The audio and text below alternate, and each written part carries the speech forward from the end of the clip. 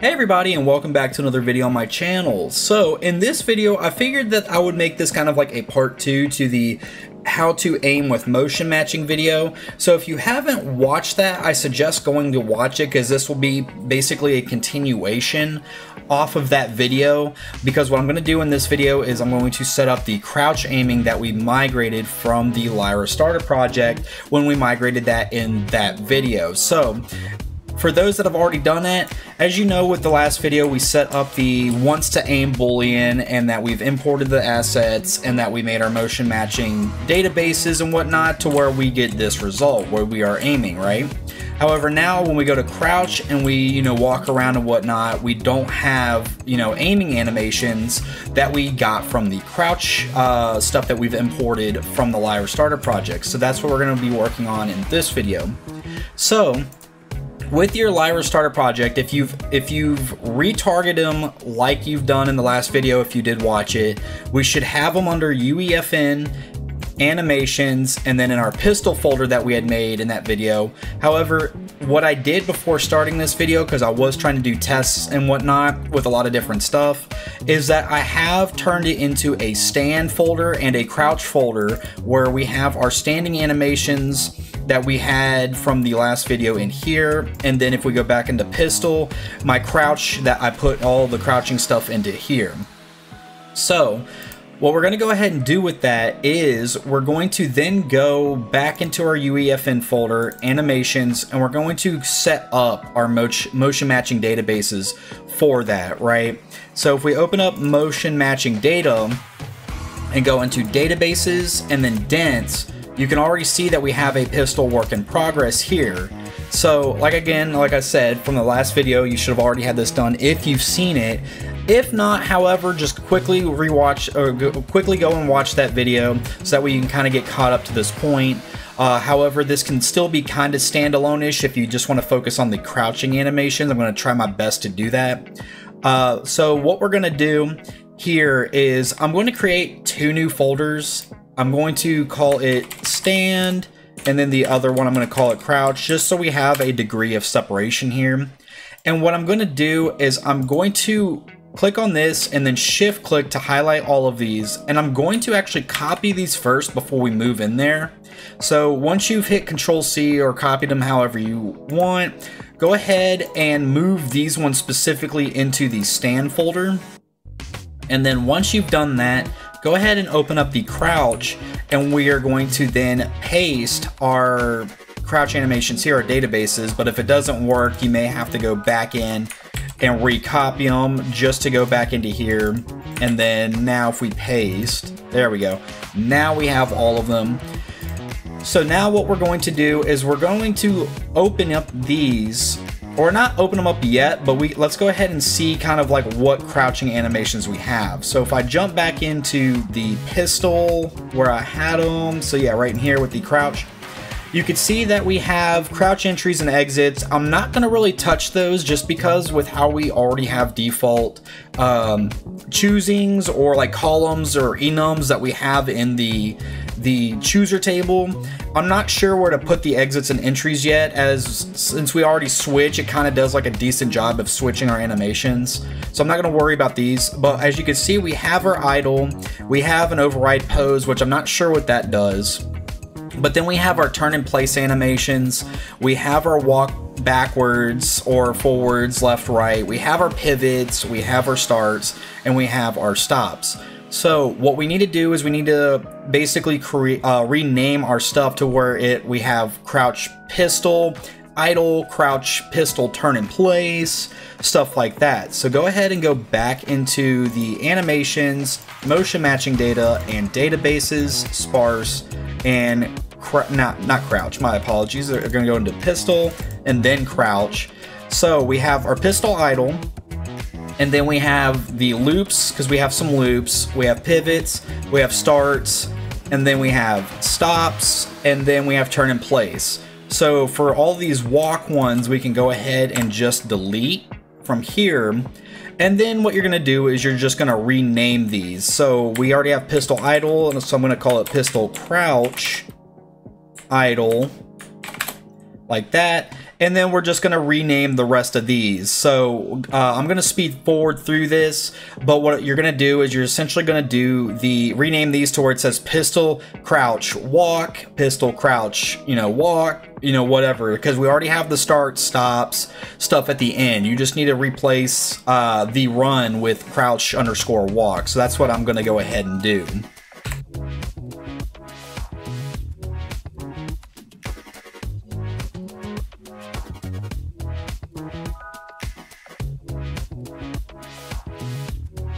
Alright guys, so I have finished that. So now when we look back at it, we have our pistol crouch idle, our pistol crouch turn in place, we have our pistol crouch walk loops, and then our walk pivots, and then our walk starts, and our walk stops.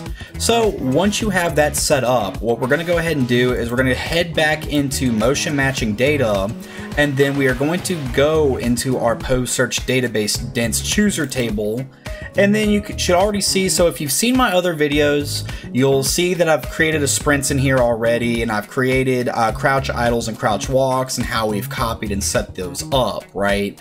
So, what we're gonna go ahead and do is we're gonna go into our crouch idles first, so that way we can put in our idles, our stops, and our turns in place.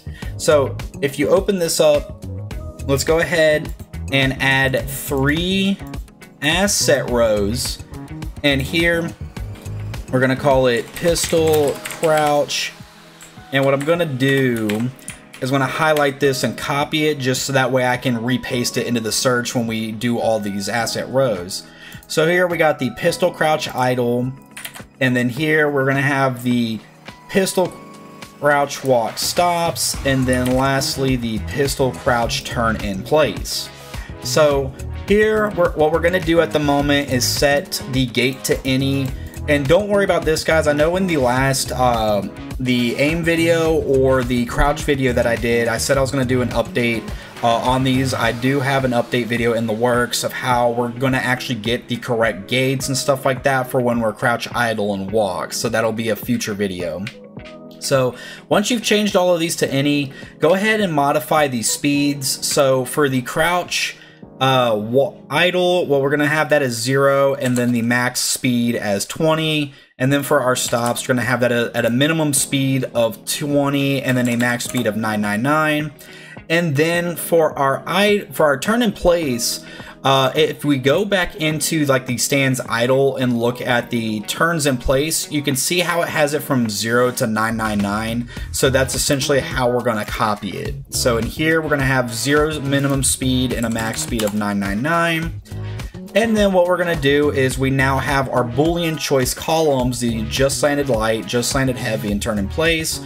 We're to make these all false for the landed ones, but then for the turn in place, we're going to make the crouch idle false, and then the turn in place true, and then leave the walk stops as any, and then go ahead and save that, and go back into the dense uh, top layer, and then go into your walks. And in here, let's go ahead and add three asset rows because we have the loops, the pivots, and the starts left. So gonna go in here and let's go ahead and look for our pistol crouch uh, loops and then our pistol crouch pivots and then our pistol crouch starts. And then just kind of how we have it up here with our normal crouch walks, what we're gonna do is we're going to set, you know, these to any, the starts to true, and then the is moving. Honestly, because the is moving is kind of pointless, I you can go ahead and delete that if you want, but I'm just to leave it in there because that's kind of how I left it off in the last video. Uh, but uh, the is pivots, what we're going to do is set that to true because we want to make sure we pivot in here. And then the just traverse, we're going to leave as any. And then the landed light and the landed heavy, we're going to have false for both of those. And then the, are all of those. And then the should spin transitions. Since we don't have any spin transitions for these ones, we're going to leave them as any. However, what we want to do in here, because now we're getting into our crouch stuff, uh, one of the things that we need to do for both of these is we need to add a new column to both of these. So if we go back to our stand idles So we in our stand idles, you'll notice that we have a wants to aim boolean column because in the wants to aim video or the how to aim video, we ended up setting that up. So we do need to add this column within the crouch idles now and the crouch uh, walks or the crouch walk pistol animations. So go ahead and go back into your crouch idles and then go add a column and we're going to add a boolean column go ahead and click bind and then off of your sandbox character do the wants to aim. So if you are new to watching this video and you haven't checked out my last video, in the last video what we did was we went into the update states function in the animation blueprint and we called our sandbox character reference and grabbed our wants to aim from our character blueprint and then we just set it as a, a new variable within the animation blueprint in order to call it.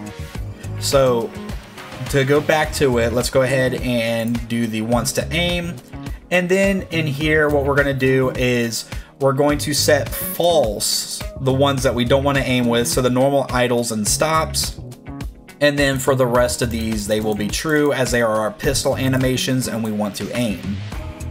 So once you have that, go ahead and save it and go back into the top layer and let's now go into our walks and do the same thing. so within our walks, go ahead and go to the end and click on add column click on bool column and we're going to then bind it to our wants to aim boolean. And then again the first three we want to have as false and the last three we want as true because our last three is the ones we put in for our aiming so now once now that we've got that set up, the last thing we need to do is to now put our animations in the database tables. I know I did skip over that, but that's because I wanted to do the uh, the database first, get y'all to separate the animations, and then we can then go into our databases and change those up. So go ahead and go back into the databases where you have your pistol folder, go into crouch, and let's go ahead and open all of these up. So I'm going to fast forward through these until I get them all open. Alright guys, so now that we got them all open, so let's go ahead and go back into our crouch idle first that we've opened, and in here, we're going to open our content drawer and go back to the uh, our motion matching data, or I'm sorry, our animations, go into pistol, and then your crouch folder where you had them separated, and then in here, what we're gonna grab, so let's go ahead and delete this first. And we are only just going to put the crouch pistol idle in here. So just like that, that's gonna be the only thing in here. Once you have that, go ahead and save and we can close out the idle. The next one is the turn in place animations. So let's go ahead and delete all the ones out here. And let's go ahead and add all of our crouch turns. So if you type in turn to filter that out, you'll get your four and then put them in there. Go ahead and save it once you've done that and then close out of it and let's open up our walk loops. And then we're just gonna essentially repeat them like how we've been doing. So I'm gonna go ahead and fast forward through this one until I get all the, the walks in here until we get to the next one.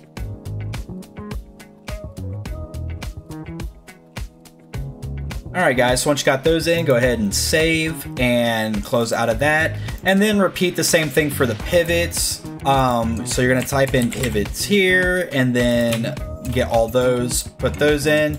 Make sure to get rid of the other ones. I keep forgetting to do that when we start it. Once you've got that, go ahead and save. And then we are in our walk starts. Go ahead and get rid of all the ones in there and look for start and put all of your start in there. Save that. And then lastly, let's go ahead and do our stops. So delete all those out of there. Grab stop. And then boom, we have them all done. So now that we have all of our animations in the databases and we, we already took care of our pose search database, now, if I go ahead and save everything and go back into the default level, let's go ahead and hit play. So here we go, we're running around, and when we aim normally, like while standing, we get our aim animations. But now when we crouch, you will see that we have our crouching aiming animations, and you can see that we are moving with our animations. So look at that. And it was literally that easy to set up. And now you have your crouching animations. So if you have any future anime or like in the future if you have any animations where you are dealing with uh, rifles shotguns or whatnot it would be the same principle but then you would have to do separate uh, choosings or chooser tables or separate like nestings and whatnot which in a future video that I have will go I'll go over and show y'all how to you know make an, your own chooser table and how you would properly get that to work with the game animation sample project. So other than that guys thank you for joining me in the video and I will see y'all later. So other than that guys y'all take care